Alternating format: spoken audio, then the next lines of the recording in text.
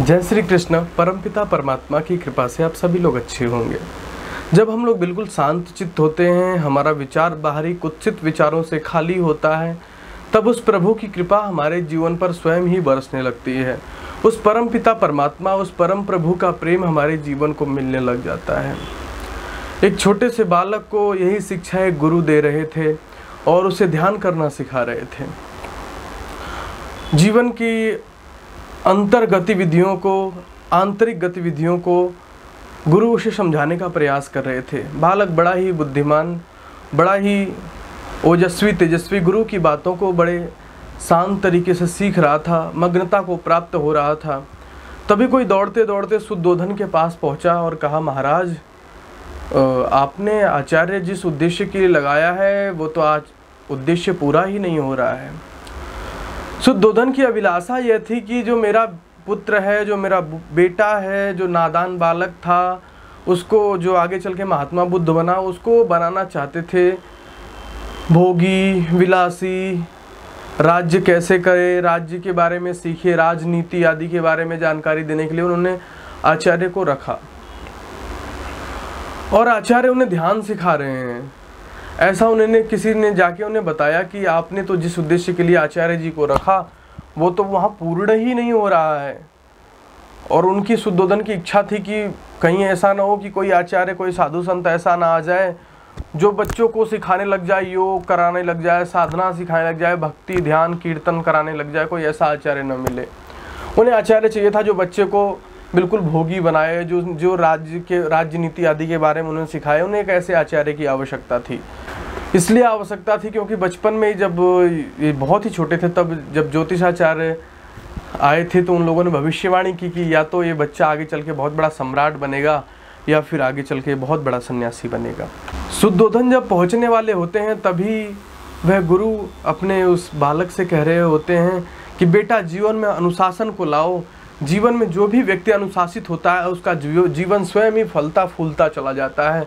ये उंगलियाँ बिखरी हुई हैं और इन्हें आप अगर अनुशासित कर दोगे तो ये बलवान हो जाएँगी।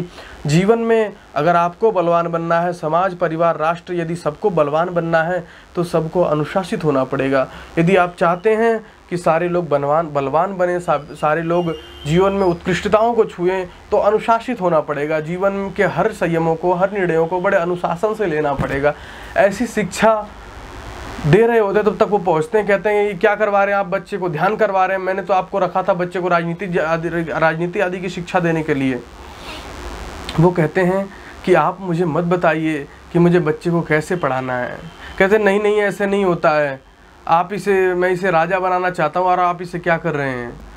वो कह रहे हैं कि, उन्होंने तुरंत उत्तर दिया उनके गुरु ने कि मैं तो इसे अपने व्यक्तिगत जीवन का राजा बनाना चाहता हूँ। यदि ये खुद पे राज्य करना सीख गया तो पूरे संसार पे राज्य कर लेगा। और यदि खुद पे ही राज्य करना नहीं सीख पाया तो समझ लेना कि बाप ने यदि राजा बना भी दिया तो भी ये पूरा गुड़ गोबर कर देगा, सारा मिट्टी में मिला देगा।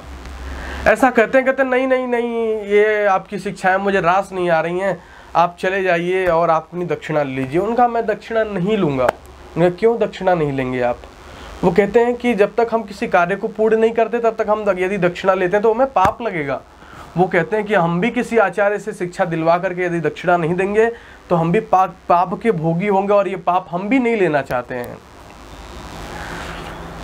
और ये राजा का आदेश था, और आदेश का यदि पालन जो नहीं करेगा, वो दंड का भागी होगा। इसलिए उन्होंने दक्षिणा ले ली और दक्षिणा लेते हुए उदास भाव से चल दिए। तो जो राजगुरु थे, उस राज्य के, वो भी उनके साथ दरवाजे तक उन्हें छोड़ते हुए गए। जैसे वो जो अपने जो उनका पथ का रास्ता जिस पे भ्रमण किया करते थे, वहाँ पहुँचते हैं। वैसे ये बालक पीछे से दौड़ता हुआ जाता है दौड़ते दौड़ते गुरु के चरणों में गिर जाता है। और रोते हुए कहता है कि, गुरुदेव, आप हमें कहाँ छोड़ के जा रहे हो? आपके बिना इस जीवन का रास्ता कौन प्रशस्त करेगा? आपके बिना इस जीवन का कल्याण कैसे होगा, गुरुदेव? एक तो बड़े मुश्किल से, बड़े जीवन के ऊँचे कर्म और प्रारब्ध होते हैं तो मन में एक अच्छा प्रश्न उठ पाता है। और उससे भी कई जन्मों जन्म के अच्छे कर्म होते हैं तो उन प्रश्नों का उत्तर देने वाला एक सच्चा गुरु मिल पाता है।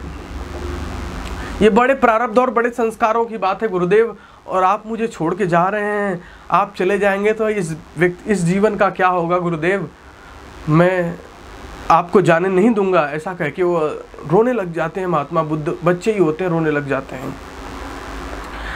उठाते हैं बेटे को और साइड से गले लगाते हैं और कहते हैं कि महात्मा बुद्ध, बेटे देखो, ये जो आपको सामने वृक्ष दिखाई दे रहा है इन वृक्षों में जो सबसे ऊँचा वृक्ष है, जो बरगद का पेड़ है, उसको ध्यान से देखो। उस वृक्ष पर कुछ दिन पहले एक चिड़िया रहा करती थी और उसने बड़े ही परिश्रम करके यहाँ वहाँ से यत्न करके तिनके बुन उठा उठा करके जैसे तैसे करके उसने घर का निर्माण किया। घर का निर्माण करने के बाद उसने अपने बच्चे दिए उसमें, अंडे दिए, फिर अंडे फूटे तो छोटे छोटे चूजे बच्चे थे। और चिड़िया बहुत दूर से उनके लिए भोजन लेके आती, रोज जाती, रोज लेके आती, रोज जाती, रोज लेके आती, और ये कहानी पूरी उनकी गुरुजी रोज सुबह जब टहलने आते थे तो बैठ के देखा करते थे। चिड़िया रोज जाती और रोज उनके लिए कुछ ना कुछ खाने के लिए लेके आती, रोज जाती और रोज उनके लिए कुछ ना कुछ खाने के लेके आती। ये प्रक्रिया बहुत दिनों तक चलती रही और वो कभी जीवन में उड़ने का नाम ही न लें। एक दिन चिड़िया ने क्या किया कि अपने चौंच से मार मार के उस पूरे घोंसले को नीचे गिरा दिया। जब वो नीचे गिरे तो लगे चीखने और चीख करके बहुत प्रयास करने के बाद पाँच दस मिनट वो एक छोटे से पेड़ की डाली पर बैठ पाए। फिर वो प्रयास किया, फिर उड़े, फिर गिरे, फिर उड़े, फिर गिरे। इसी प्रकार करके वो और उससे ऊँची डाली पर बैठ पाए। फिर आगे प्रयास किया तो एक और ऊँचे से वृक्ष पे बैठ पाए।